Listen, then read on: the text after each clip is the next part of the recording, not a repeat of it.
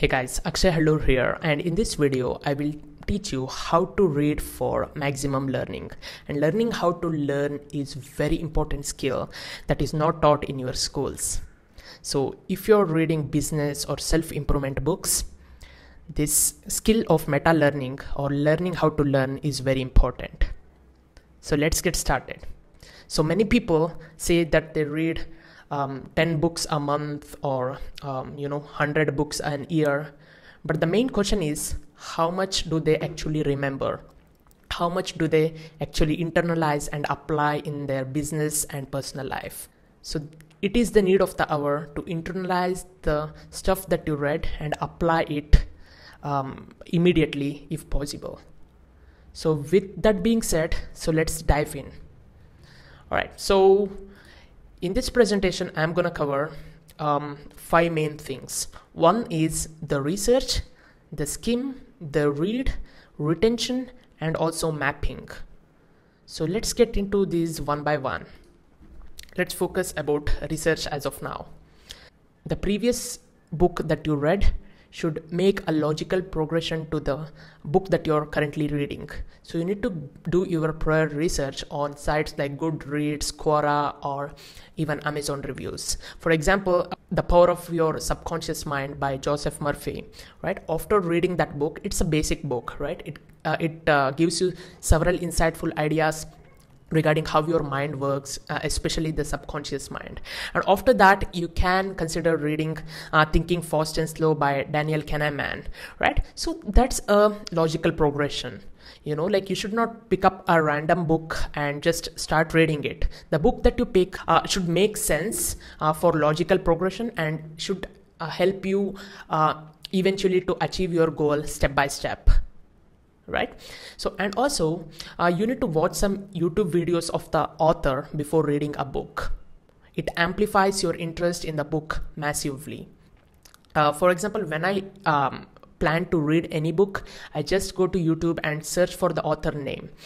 There may be TED Talks or there may be um, videos from London Real or some other videos will be there, right? So I will watch those uh, videos because getting to know about the author you know um, in a personal way or like you know uh, through a video it amplifies your interest in the book massively right?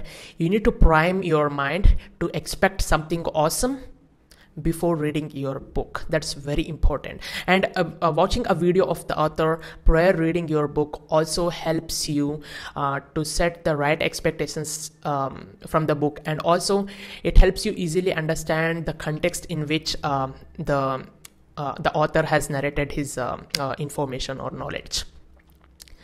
So these are all the things that you need to do before even picking your book. The first you need to pick a book that uh, helps you achieve your goal. And you need to watch some youtube videos or and amplify your interest in the book massively right? You can read about that uh, author or watch some videos. Okay the next thing is skimming. So after researching which book to read the next thing that you need to do is skimming right? So in the skimming phase what you will do is um, you will just go through the book uh, as if you are uh, scanning right? Uh, just to make the connections and just to analyze the topics covered in the book. So you can start skimming with table of contents right? So just go to the table of content uh, section of your book and see how the topics are uh, progressed in the book right? How they are interconnected based on your um, uh, previous knowledge in the topic right? In some cases right? Look for logical progression of ideas in the book. And especially you can also look at introduction or um, the author may have included uh, how to read this book a section called how to read this book.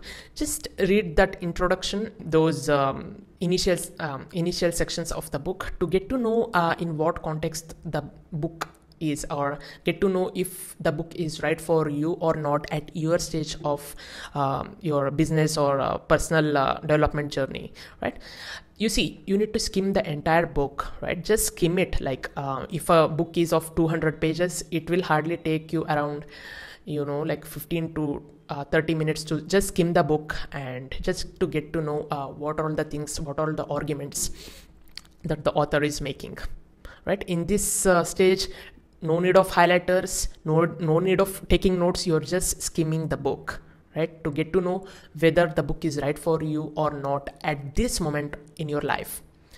So after the skimming process is done the next thing that you need is um, you need to uh, read the book right? You need to obviously read the book. You, you just can't skim the book and uh, you know um, expect that everything will be internalized. You need to read your book. So reading you need to consume the information in a smart way. We are living in an information overloaded world right? So you need to make sure that you consume information in the book in a smart way that will not overwhelm you or that will not uh, mess up with, with your mind. So the first thing is you need to consume smart and read the things that match your goal. So if you have done your skimming process thoroughly then this process is really easy right? So if you have skimmed your book and realized that it is the right time for you to read the book to match your goals then you, you need to consume smart and you need to consume the information uh, that is present in the book as it relates to your goals business or personal go- goals. And you need to engage in active learning. There are two kinds of learnings active learning and passive learning. You need to engage in active learning for example if there are any books where there are projects worksheets you know uh, some exercises do them right? Don't you know have that um, um, conditioning in your head like projects are only meant for universities and those suck right? You know what i'm saying right? So and you need to do the practicals on what you read so there may be some action steps that the author has mentioned in his book if the book is actionable or else you need to jot down some things in the middle uh, about what are all the things that you need to implement out of the concepts that you have learned right? So if you engage in this kind of active learning it helps in memory and concentration right? And the next thing is you need to build a mind map right? I will discuss it uh, later on right? Um, the mind map is simply you know like uh, this video presentation is a mind map based right? As you can see it helps me um, obtain a macro view of my entire presentation here right? I can see all the things here. So it helps you connect ideas with new ideas your in your mental schema right? I will describe about this later on in the mind mapping section here uh, in the mapping section so and building a mind map increases memorability because mem- mind mapping is a process that is very intimate to the brain because um, mapping is the main way by which uh, brain associates uh, similar ideas together right? And um, you need to keep an artifact right? Other than highlighting your book. Of course you need to highlight your book but still you need to keep an artifact right? You need to learn the difference between active and passive memory. And um, in your artifact whether the the nodes or the mind maps you need to um, have actionable things written in your mind map or your notes right? And keeping an artifact like um, diary or a notes or um, or your evernote or you know or a mind map it makes your passive knowledge active in your brain. That's very important for memorability that i will discuss later on and the next thing is you need to refer back to the uh, book uh, periodically. One concept here here is uh, uh the repetition is very essential to move the memory from short term to long term memory. If a certain thing is repeated over and over again brain will deem it as more important and it will move it to the long term memory and also uh, repetition helps you to connect uh, the new ideas to the uh, ideas that you already have right? When you you know combine the ideas of different uh, mental models or different uh, fields of studies that's where innovation happens right? So you need to have that ability to connect the ideas of different um, paradigms or different domains and uh, connect it to things that you're doing that's very important in accomplishing your goals right? What can i implement? How it connects? How the content of the book connects to what i'm already doing and how can i improve on it right? So don't make fragmental or uh, incremental understanding. So see whenever you're reading the book you are reading it sequentially right? Uh, unless you create mind map the information uh, that you uh, read will you will interpret it in a fragmented way or incremental understanding. So you need to have a macro level understanding of the book and how the contents in the book connect with each other. It primes your brain to obtain the incremental understanding in a more uh, connected or in a more contextual and um, um, you know related manner right? In a form of mind map all right the next thing is retention right? People have this thing right? They read certain many books and the main problem for them is not remembering the things. So here are some of the things that i can give you right? Connect your reading to an action. That's what i um, suggested you previously right? So when you uh, connect your reading to your goal so that it's immediately actionable then it retains in your memory because it's actionable. It's it, retains in your active memory. So it helps you link to your existing experiences right? So connect to existing ideas. So whenever you're reading any book um, uh, you surely have come across uh, many ideas that you already know right? And also you obtain many new ideas so now you need to make a connection between the new ideas that you learned to your previous ideas. So connect to existing ideas. Connection makes new knowledge more memorable.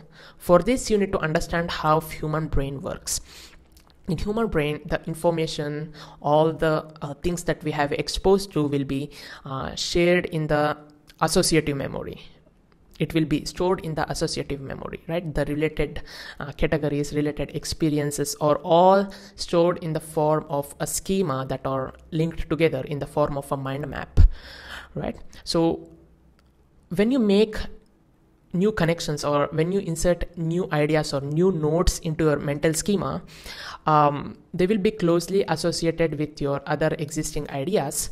So they will be recalled more and more uh, whenever your associative uh, memory is activated uh, whenever any external uh, rela related uh, uh, stimuli occurs. So so that like whenever you connect the new ideas to your existing ideas the repetition will happen uh, automatically because whenever your existing ideas get activated the new ideas that are closely associated your, to your existing ideas in the uh, mental schema will be activated and it leads to automated repetition um, provided that you provide your brain uh, related stimulus. And repetition right? The one technique in repetition is spaced repetition. Spaced repetition uh, i will describe this in this uh, second uh, topic here.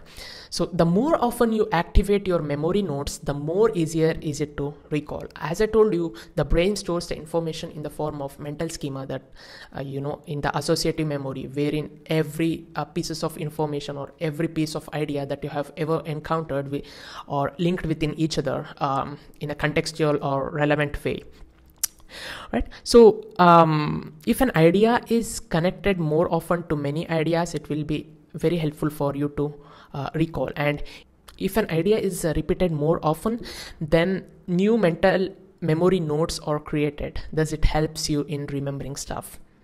And spaced repetition is uh, a game changer. Right? So if you have read a book today uh, if you have completed reading it then revise it after a week and then again revise it after a month and then revise it after an year right? Slowly add more and more time between repetitions. Repetitions is very important and repetition is perhaps only the preferred way for internalizing the information uh, deep down to your uh, neural pathways.